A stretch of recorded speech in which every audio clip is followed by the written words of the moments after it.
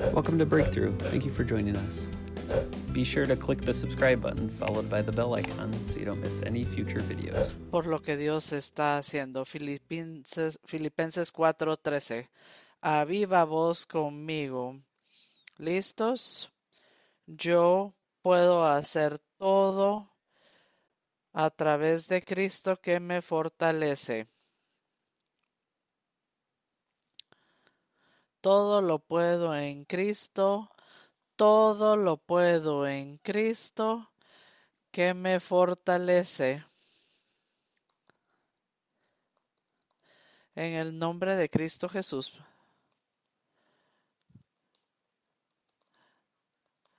Si lo tocas desde la punta de la cabeza hasta la planta de sus pies, abre nuestro mente, corazón, oídos, para que aprendamos algo nuevo de la palabra del Señor el día de hoy. Amén y amén. Tomen asiento. No quise rebasar lo de la ofrenda, pero la ofrenda no siempre es lo más importante. Amén. No siempre la, la ofrenda y no lo queremos hacer más importante de lo que Dios está haciendo. Pero si tienes ofrenda y la quieres dar y estás en línea y hay diferentes maneras de hacerlo y lograrlo, puedes mandar por texto, etcétera. Y Dios nos bendecirá conforme damos. Pero queremos hablarles de un mensaje del título que se llama Hazlo. Dile a tu vecino, hazlo. Dile, hazlo. Porque si lees ese versículo, dice, yo puedo hacer, yo puedo hacer. Y dice, yo puedo hacer. Y es una acción que sale del corazón que está lleno y debería estar lleno de Jesús. Eso es lo que debería hacer.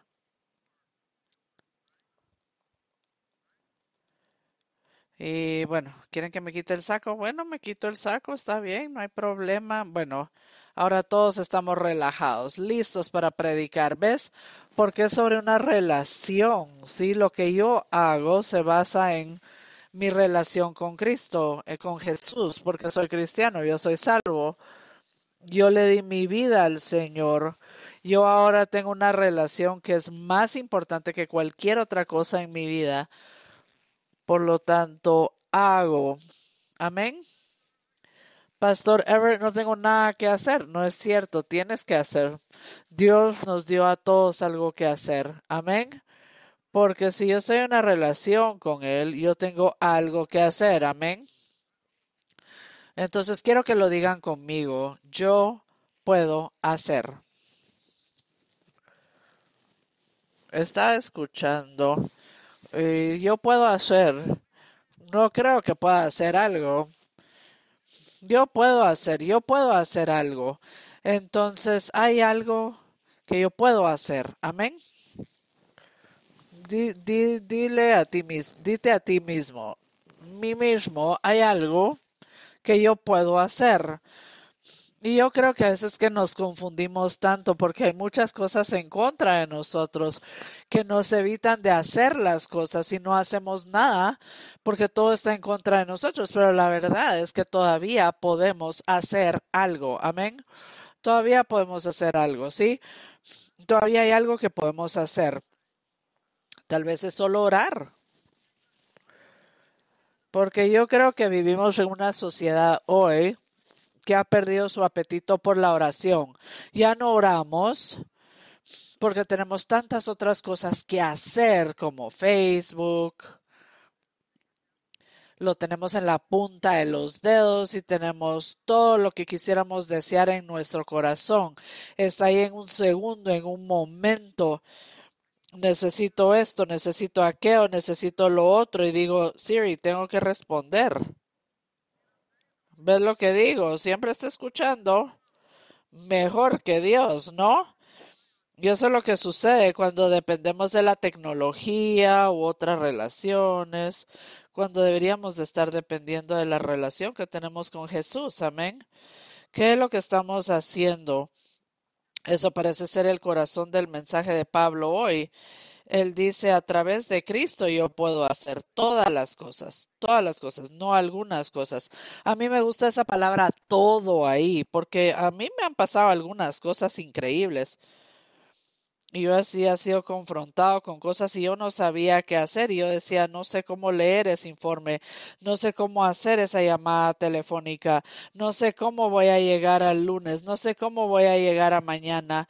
Y tenía que empezar a depender de Jesús y confiar en Él y salir de mi zona de confort y de lo desconocido para que yo pudiera llegar a eso de fe. Ah, caminar por fe. Sí, bueno, eso implica que no lo veo, que no lo siento. Hago lo que no parece correcto, algo que es contrario a mi carne. Lo que debo hacer, lo hago. Lo hago. Entonces, bueno, hay una persona en YouTube que hace así. Hazlo y lo vuelve a decir, hazlo. Y pasa 15 minutos diciendo, hazlo, hazlo, hazlo, hazlo. Y a veces simplemente tienes que hacerlo, tienes que hacer lo que Dios te llama a hacer, aunque no lo sientas. Hazlo, hazlo, hazlo. Porque tenemos que empezar a hacer algo esperando que Dios llegue el domingo en la mañana para hacer algo que yo sé que tengo que hacer. Hazlo. Hazlo. Estuvo muy difícil. Estuvo muy recio. Hazlo. Porque tú sabes que tienes que hacerlo. Es como sacar la basura. A nadie le gusta sacar la basura, a nadie le gusta lavar los trastos. Tal vez una vez o dos veces, pero realmente a nadie le gusta. Yo puedo hacer todas las cosas a través de Cristo que me fortalece. Hazlo.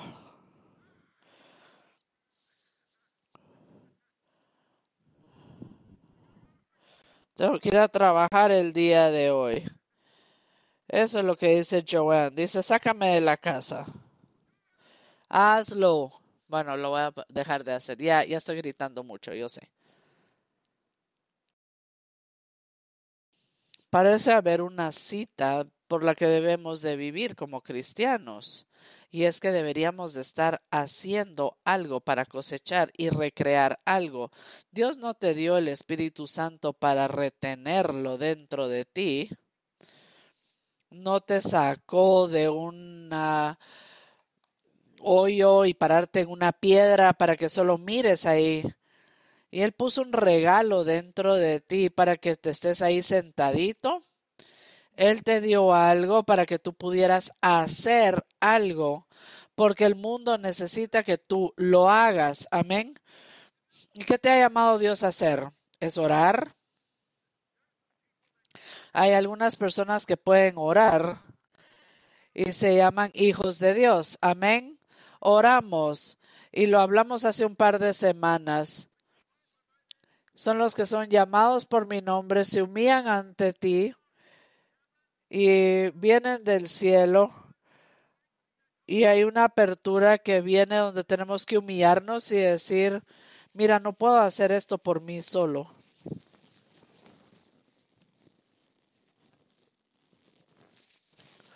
Aplicar oración sin orgullo es una clave a abrir lo que Dios tiene en nuestra vida. Entonces tengo que sacar mi orgullo del camino para que yo pueda escuchar a Dios, humillarme ante Él y luego Él me puede levantar, hacer algo.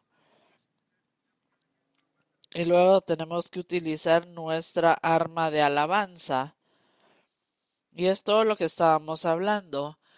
Esto no se trata de ser resguardado por algo, sino lo que Dios está tratando de hacer, lo que Dios te ha dado. Haz lo que tienes que hacer y que Dios se preocupe de lo demás. va a que estar bajo presión y hacerlo. Y a veces tenemos que pararme y alabar. Yo no me siento con ganas de alabar porque estoy cansado. No, hay que alabar de todos modos. Uno tiene que sacar lo que tiene dentro.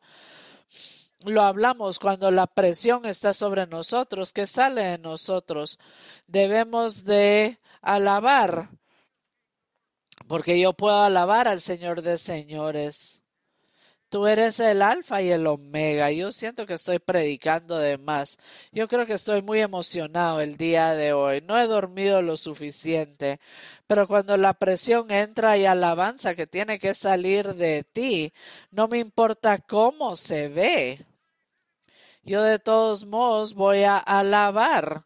Yo le doy a ustedes toda la honra y la gloria. Esa es la, el arma que derrotará la alabanza es el arma que causará gozo.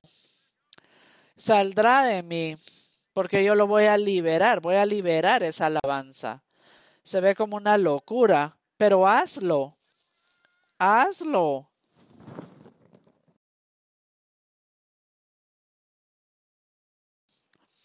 Aquí tenemos la sabiduría de la palabra de Dios. Tenemos que confiar en esa sabiduría, no en mi hermano, en mi hermana. Yo tengo que confiar en la palabra. Si Dios me dio la palabra y me la dio, nos dio esta palabra.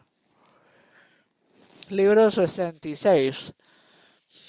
De generación a generación, trató de quemar, destruir, alejar y Dios nos dio este regalo para tener la sabiduría y vivir con nosotros. Tengo que hacer, necesito esa la sabiduría para ir a la palabra y encontrar esto, necesito esto. Entonces nos apartamos. Aquí hay un par de mensajes me aparto, soy especial, soy peculiar, soy un sacerdote santo, soy llamado a esto.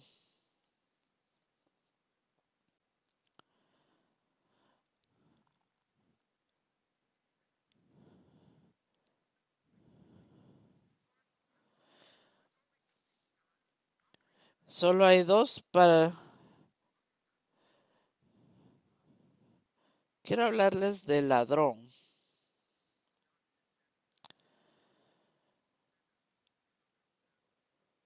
Diez es el número de pruebas y podemos hacer pruebas.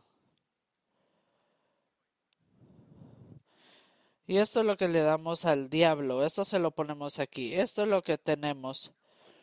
Entonces el diablo es un mentiroso. Y entonces el que viene a matar, y ese es el diablo.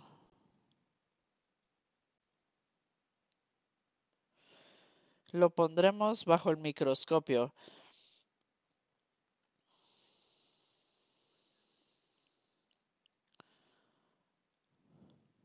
E, es para que tengan vida y vida más abundante. Ahí está definición. Entonces, no sé si hay una división ante ti. ¿Quién quiere ir a la iglesia el día de hoy? ¿Y qué parte de ustedes quiere alabar? Y la otra parte así como no sé, no suena tan bien. ¿Qué parte de ustedes quiere ser amable? ¿Y quién quiere dejar su trabajo? ¿Y quién quiere leer la palabra de Dios? Entonces, ¿quién es el ladrón? ¿Qué es lo que quiere el ladrón? Dile a tu vecino.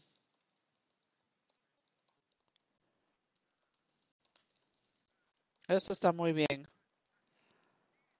Porque el ladrón viene a robar, matar y a destruir. Nadie te obliga a lavar los dientes, nadie te hace leer la Biblia. Si Dios te hizo orar, si te hizo ir a la iglesia, Él te estaría manipulando y eso no sería amor. Y la última vez que vi Dios es amor, la esencia más pura del amor. El amor te permite hacer lo que quieres hacer. Tú puedes hacer lo que tú quieras. Yo te amo. Y nos espera. Dios está en la cruz. Jesús está en la cruz. Yo doy mi vida por ti. Y espera por nosotros para hacer las cosas, lo que Él ha hecho por nosotros. Amén. Y en cualquier momento, cualquier cosa que se meta en el camino de lo que se supone que deberíamos de estar haciendo, que es amar a Jesús, amar a tu vecino, es un ladrón que mata, destruye lo que Dios te ha dado. Yo he venido a darte vida y vida en abundancia. No vino a decirte de dinero, vine a darte fama y de manera más abundante. No vino, lo que vino a darte es vida, vida nada más. Yo quiero que sepas que la vida debería ser divertida, debería ser interesante, debería ser una aventura, un desafío, ¿sí? Una vida sin desafíos no es vida. Tenemos que tener desafíos para tener fe. No puedes tener fe si no hay desafíos. Amén. No puedes tener amor si no hay rechazo. Porque no sabría la diferencia. El amor es todas esas cosas, todas mezcladas. Entonces este versículo sale en Juan 10:10 10, sale del capítulo 9 porque sanó a un hombre ciego y la iglesia pudo hacer sentido de eso. Y le habló y puede hablar por sí solo porque no va a salir de la iglesia, ama la tradición y entonces le está diciendo a la gente de la iglesia el diablo vino a destruir, matar. Y eso es lo que sucede cuando vamos a la iglesia una y otra y otra vez. Y es esa idea que lo podemos hacer por sí solos, sin Cristo. Yo no puedo ni siquiera alabar a Jesús sin Cristo. Y no puedo amar a mi esposa, ni gozo sin Jesús yo puedo hacer todas las cosas a través de Cristo que me fortalece. Estaban tratando de justificar un milagro. Un hombre. Pero se puede levantar algunos de los ladrones, ah, listar algunos de los ladrones en tu vida. Puedes hacer una nota mental o lo puedes escribir en papel entre más veo al espejo y digo, este va a ser un día pésimo, este va a ser un mal día, eso ya es un ladrón, me está quitando la oportunidad de un nuevo día. Me levanté esta mañana y vi que estaba viviendo en la misma casa con esa persona. Y yo dijo, dije, gracias a Dios. Perdí la oportunidad de tener otra perspectiva sobre la misma persona que vino a bendecir mi vida. Tal vez tengo una nueva semilla en mi vida, algo nuevo saldría de esa cruz. ¿Sí? Entonces yo lo puedo hacer, pero no puedo permitir que el ladrón me robe la oportunidad. Y eso es lo que sucede cuando vamos a la iglesia. Tuvimos la oportunidad esta mañana de alabar, de abrazar a alguien, la oportunidad de decirle a alguien que es importante para ti. Tuvimos la oportunidad el día de hoy para comprarle almuerzo a alguien. Amén. Mentira, no, son mentiras. O quien quita, no sé, son bromas, pero en fin. Pero yo no quiero manipular a nadie. Eso sucede. Algunos pastores se pararán aquí y van a hacer esto, aquello y lo otro, y les van a dar esto, aquello y lo... Es manipulación, eso no es amor. Yo no quiero manipularlos a ustedes a hacer algo, pero quiero que amen a Dios, que hagan eso. Hagan eso. Porque si está en ti, ya te lo dio. y no se lo va a dar a nadie más.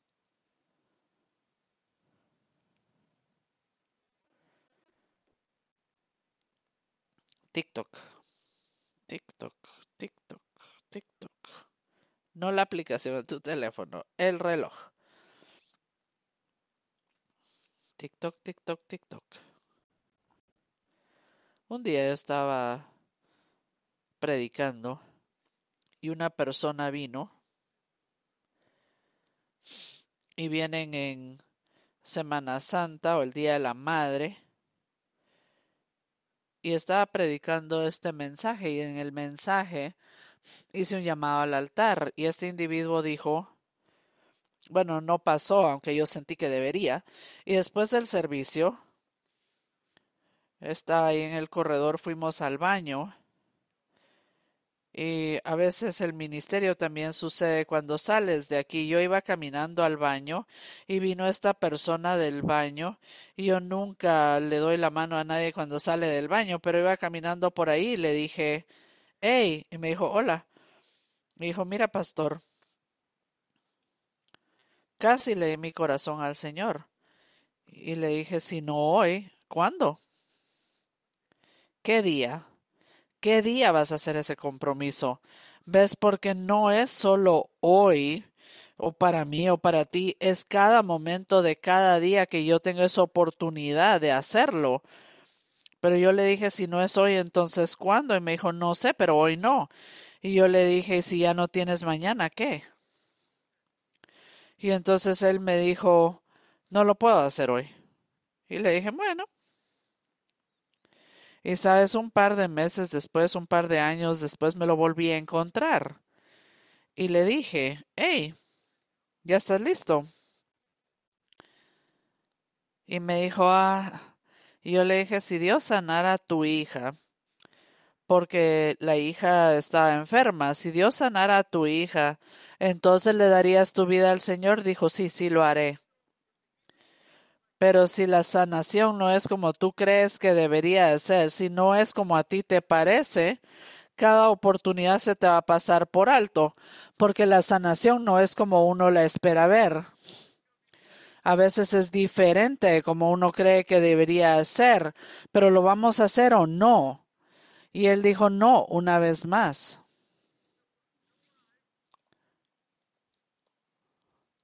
Todavía está vivo pero el tiempo corre. Y esto es lo que hace el ladrón, quita el tiempo, el tiempo que yo no puedo recuperar, porque se desaparece, se va. Y yo debo hacer lo que Dios me ha llamado a hacer, porque el ladrón viene a quitarme mi tiempo y este tiempo le pertenece a Él. Y el tiempo avanza. Y nosotros de todos modos lo estamos. Tome nota, viva su vida como usted ha querido, ya tomó la decisión. El ladrón seguirá viniendo porque no lo han atrapado aún. Pero si él tiene que pagar,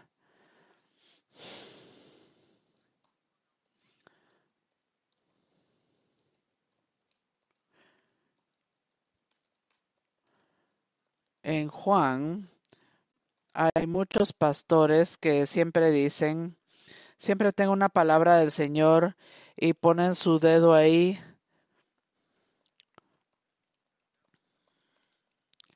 y lo que haces y lo que hagas a lo rápidamente, y eso dice este versículo. Pero quiero que escuchen el consejo de Jesús a Judas. Y en Juan 23, 31 dice, llévame. Y luego Jesús le dijo, entró Judas, lo que hagas, hazlo rápido. Y él dijo, este es mi consejo para ti, ya que Satanás ha entrado a tu corazón.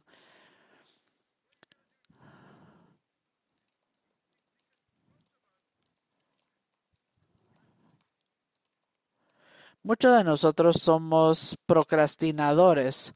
Daré, alabaré, seré bueno, amaré después. ¿Sí? Pero Jesús dijo, lo que tú hagas, lo que hagas, hazlo rápidamente. Ustedes tomarán este mensaje y van a decir, ves, el pastor dijo, hazlo. Y yo no estoy diciendo que no deberíamos de pecar o que vean y pequen, pero así pueden llegar y decir, Dios, perdóname. Al menos Judas hizo algo, ¿no? Jesús ni siquiera podía llegar a la cruz sin Judas, no podía llegar ahí. Pero algunos de nosotros cristianos ni siquiera podemos decidir ser como Cristo. Ni siquiera podemos hacer eso. Y si está en tu corazón, hazlo, hazlo rápidamente. A veces las personas llegan en tu mente y dicen, llámalo y dile, ay, se oía tan bonito, tal vez le doy a dar una llamadita. Tal vez ese era Dios ayudando, pidiendo que ayudaran a Dios. Necesitan esa confirmación y no lo hicieron y negaron la bendición. Vamos. Hasta Dios nos está llamando ahora. Estoy escuchando al Señor. El Señor está acá. Porque a veces, a veces se supone que deberíamos hacer las cosas rápidamente, no procrastinar. Porque a veces, si esperamos, es demasiado tarde. A veces el alma o la persona lo necesitaba en ese entonces hágalo rápidamente, rápido, rápido. Yo preferiría tener a mi hijo que saque la basura, que lo haga rápidamente, mientras decir lo haré después y nunca hacer las cosas. Hagámoslo rápidamente. Era el dinero. Y Judas estaba buscando porque Judas llevaba el dinero para Jesús. Llevaba el dinero para Jesús. Ni siquiera valoraba el dinero.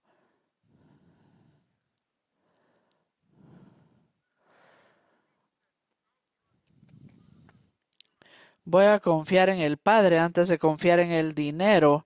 Tengo mis prioridades y las tengo bien. Ese es el Jesús que dijo lo que vas a hacer, hazlo y hazlo rápidamente. Ese es el mismo Jesús. Es el valor sobre el valor que tenemos. Él puso valor.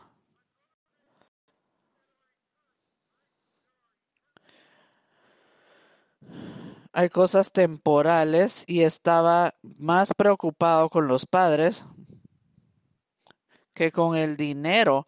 Por eso es que dejó que Judas hiciera lo que hiciera.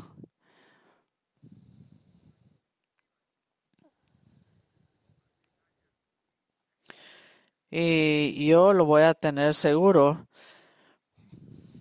Pero Jesús dijo, y él dijo,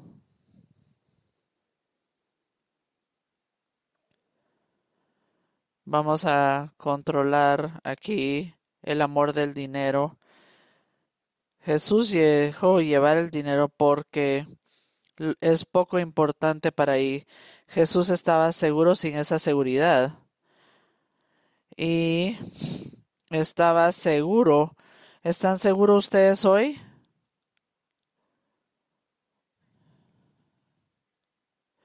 Si están seguros.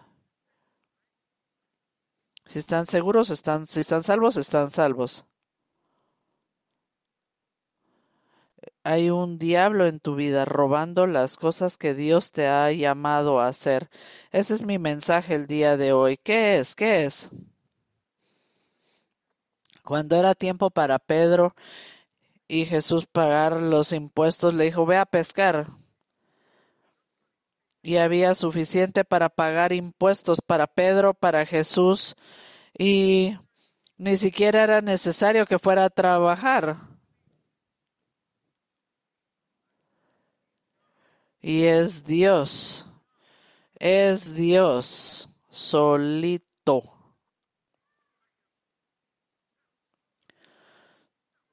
Solito.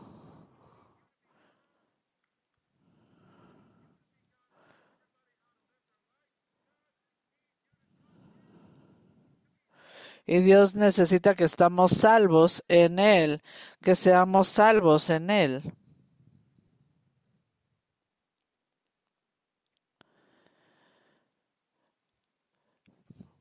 Cristo fue crucificado entre dos ladrones. Él fue crucificado y un ladrón viene a robar lo que no es de él porque no siente que tú te lo mereces o que se lo merecen más que tú, pero no es de ellos pero no, y no es de ellos. Entonces el ladrón puede venir a tomar algo, pero no es de ellos.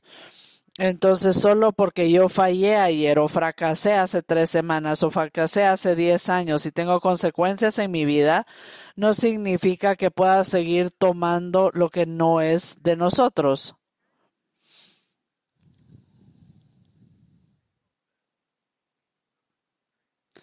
y fueron nombrados con los transgresores. ¿Y tú sabías que Barrabás había sido liberado? Barrabás lo dejaron libre. Él estaba siendo condenado por insurrección. Él quería derrocar el gobierno del día. Entonces la gente estaba más interesada en derrocar el gobierno que recibir lo que Jesús traía, que es el nuevo reino. Estaban más interesados en las cosas del mundo que el cielo y no es diferente. Y escogimos, escogieron a Barrabás sobre Jesús, escogieron al diablo, tenemos nuestra propia cosa, tenemos nuestro, estamos tratando de hacer esto, aquello y lo otro.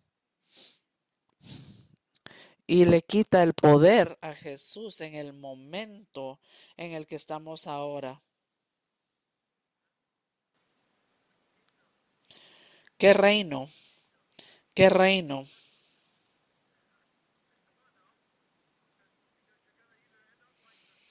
Y vamos a estar como el ladrón con las con el arrepentimiento de las consecuencias de lo que estamos, de lo que hicimos en la cruz o vamos a ser como Jesús. Entonces Cristo fue crucificado, es un gran testigo que un al final de su vida iba a cambiar su vida pero no. A veces es muy tarde.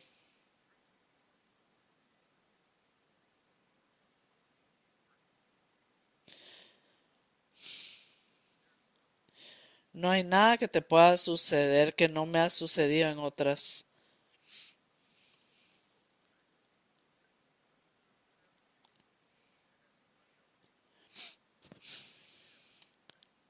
Digamos esto.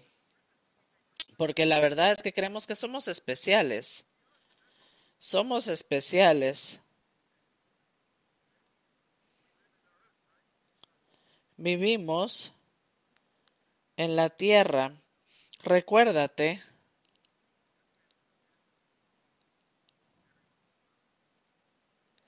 y de vez en cuando soy un ser humano y cometo errores. Hay una condición que se llama ser humano. Y esta vida es frágil.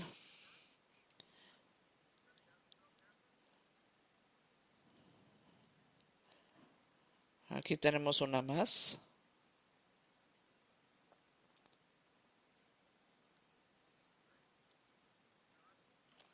Entonces Dios abrió mis ojos a otra... Solo porque las cosas me suceden, no implica a otros sí.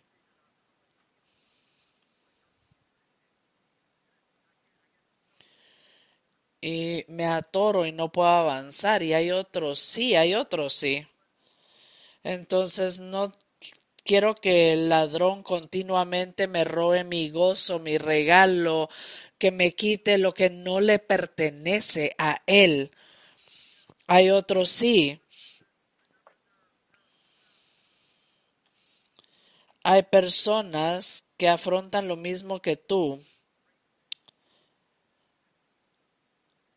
Hay personas que hacen en los últimos veintitantos días no he casi dormido nada. Yo nunca pensé que podía seguir. Y yo pensé que podía ir más allá de lo que podía, que tenía un poco más fuerza de lo que pensé tener. Yo lo puedo hacer porque yo siento que Jesús y Dios me da esa fuerza. Yo puedo subir porque Cristo me fortalece. Yo puedo hacer esto que está en mis manos, este momento. Yo puedo hacer esto porque Él me da la fuerza. Amén. Yo lo puedo hacer.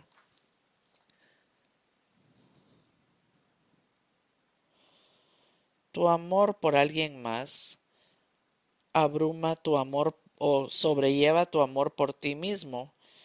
Esa es una muy buena pregunta. Y número cuatro, no sé cómo voy a manejar esto.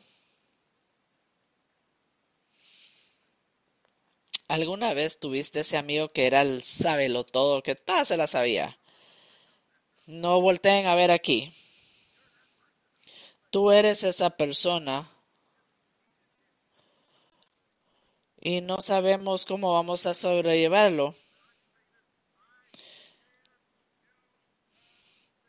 Yo puedo hacer todo a través de Cristo que me fortalece. Y entonces mi respuesta no siempre está en mí, puede que esté en ti. ¿Sí? Y la respuesta tal vez no está en ti, pero puede estar en Él.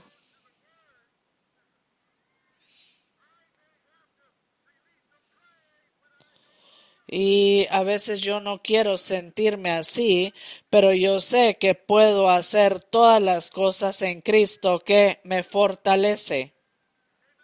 Amén.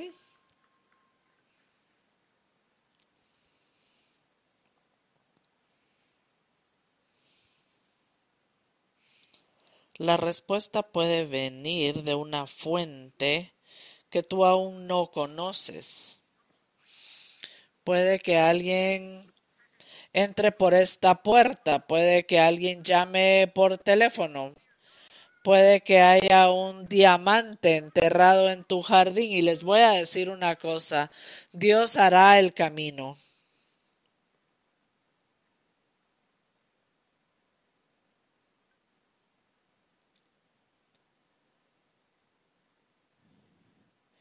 Hay fuego hay fuego y saldrá ese fuego. Tengo que tener ese fuego dentro de mí. Hay una imagen en Génesis 2.18, hay una imagen de Dios caminando con Adán. Y él le dice, no he encontrado socorro para ti, pero te quiero decir algo, viene la ayuda.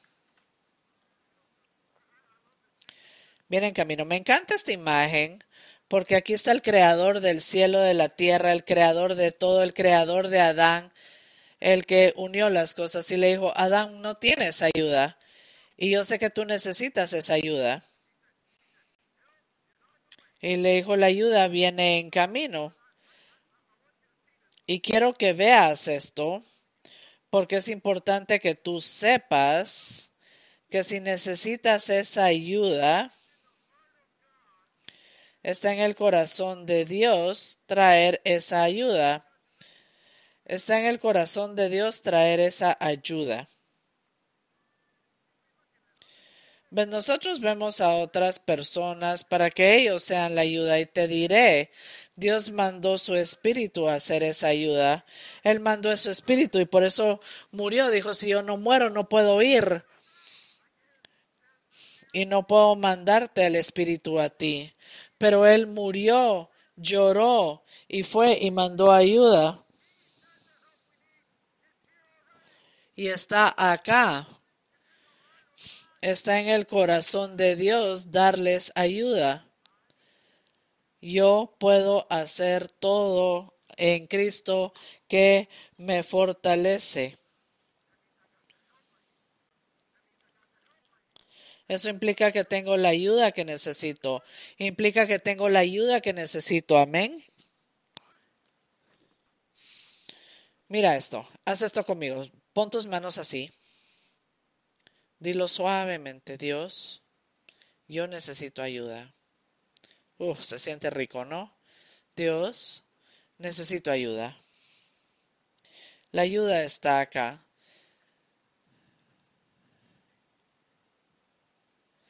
Aquí está Dios. ¿A dónde se va el tiempo? Uf, el tiempo se nos está yendo una cosa más. ¿Listos? ¿Listos para una cosa más? Una cosa más, ¿sí? Santiago capítulo 1 versículo 22 dice, ¿listos?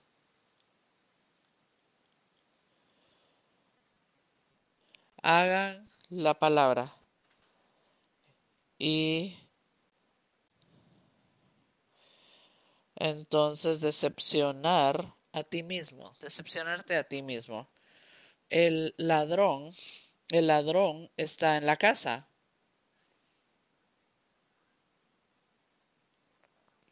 Cuando no hacemos lo que escuchamos, ¿sí?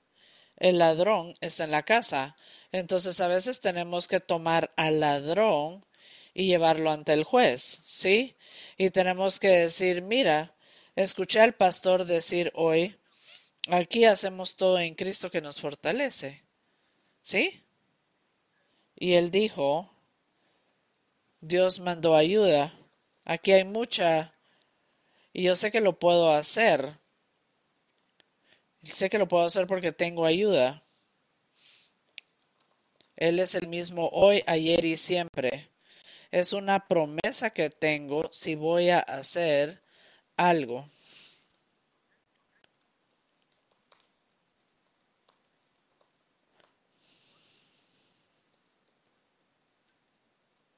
¿Qué ladrón te va a evitar hacer la palabra de Dios?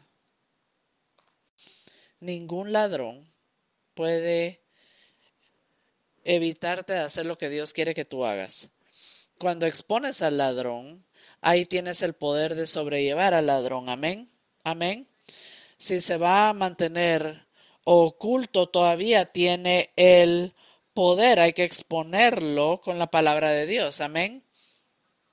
Exponer al ladrón con la palabra de Dios y luego puedo hacer las cosas. Amén. Si algún hombre, mi papá, mi papá, voy a llegar a eso.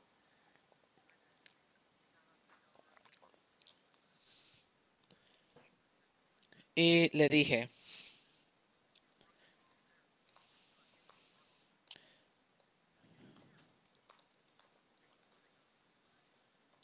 Nadie de todos modos me va a ver el cabello y no importa cómo me lo peo, pero yo te tengo que ver el cabello.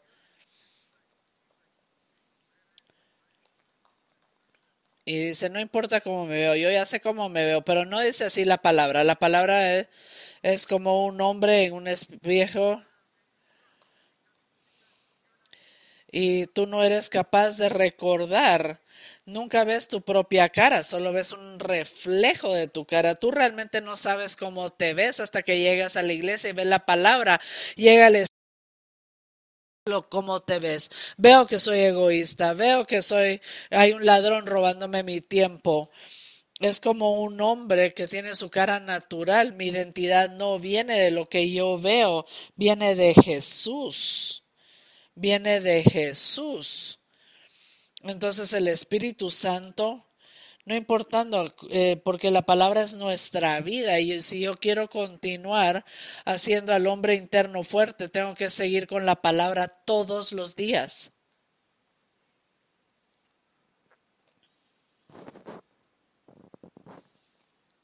¿Qué saben ustedes? ¿Quién les dijo eso? ¿Y cuál es la verdad? Esas cosas todas son diferentes. Y lo que hacemos es basar nuestras vidas en la doctrina, en la creencia, en cosas que hemos escuchado, que alguien dijo, o en la palabra de Dios. Y estamos haciendo una de esas tres cosas ahora. Y por eso estamos donde estamos, ahora.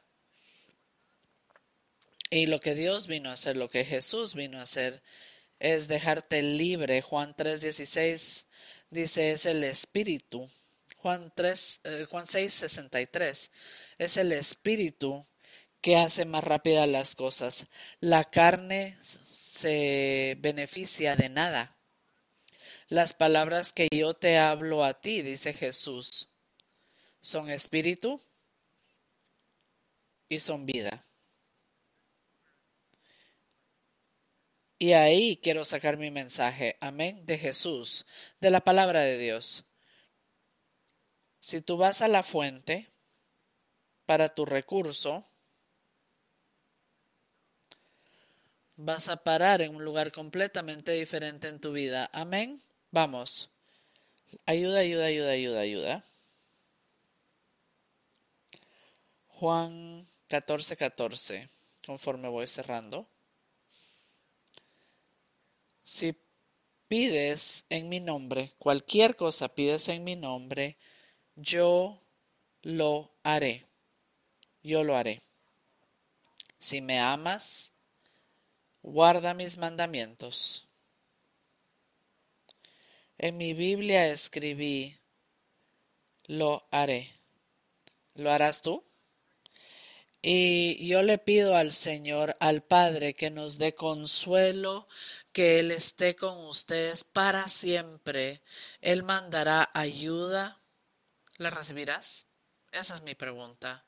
Aún el Espíritu de la verdad que el mundo no puede recibir porque no lo ve ni lo conoce, pero tú lo conoces a Él porque Él vive contigo y será, e, estará en ti, contigo, en ti, contigo. Entonces quiero que digan conmigo, la ayuda está en mí. Si el Espíritu de Dios está en mí, la ayuda está en mí. Pónganse de pie conmigo, ya voy a terminar. Cerraré esto.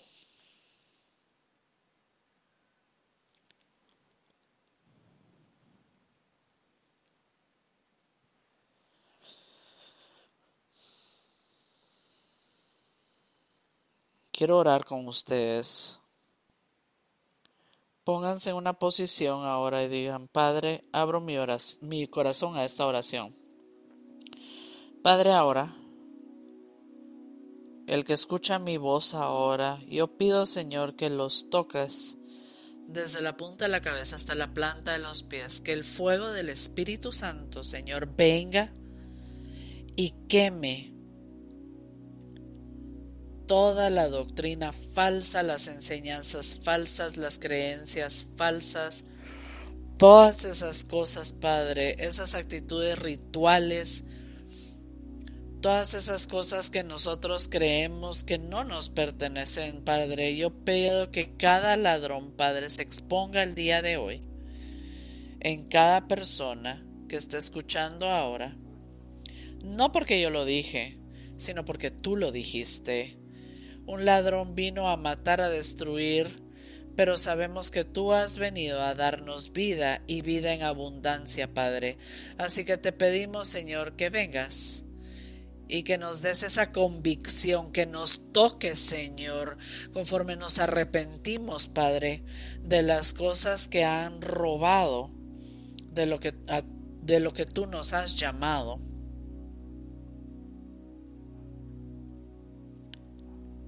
Pido, Señor, que conforme liberamos esas cosas, Padre, nos ayudes a hacer lo imposible.